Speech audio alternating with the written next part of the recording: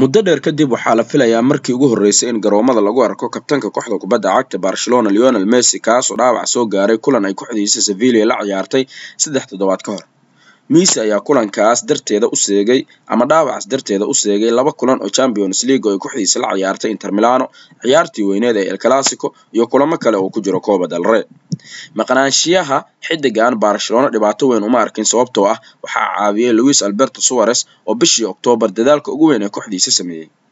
suarez ayaa natiijadii ugu weyneed ee clasico ku lug lahaa kulankii inter milano saameyn ku lahaa isaga iyo qaar ka mid a ciyaartooyda kooxda uu ku jiro usmane dambele iyo philip coutinho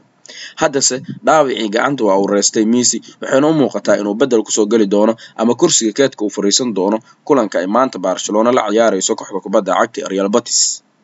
kooxda uu hogaamiyo ernesto filfred ayaa ah hogaamiyaasha xilligan horyaalka dalka spain ee la liga waxayna u muuqdaan inay ka faa'iideysanayaan dhibaatada adag ay ku jirto kooxda inta badan ay xifaaltamaan ee madrid barcelona niyad fiican ay yeelatay natiijadii el clasico iyadoo qaar ka mid a ciyaartooyda cusub ee kooxdaas ay si fiican ula qabsadeen. Marka la fiiriyo artur malo iyo sida uu kubadaha u sharaxayo iyo qadka dhexe sida u maareynayo. Marka laga soo gudbo arrintaasi tababarahoodii isna waa uu fahmay maadaama markii hore uu isticmaali jiray shaxda ah afar afar labo. Haddase wuxuu ka dhigtay afar saddex saddex taasoo ka caawinaysa barcelona inay wax badan la qabsadaan hogaanka iyo hanaanka horyaalka spain ee la liga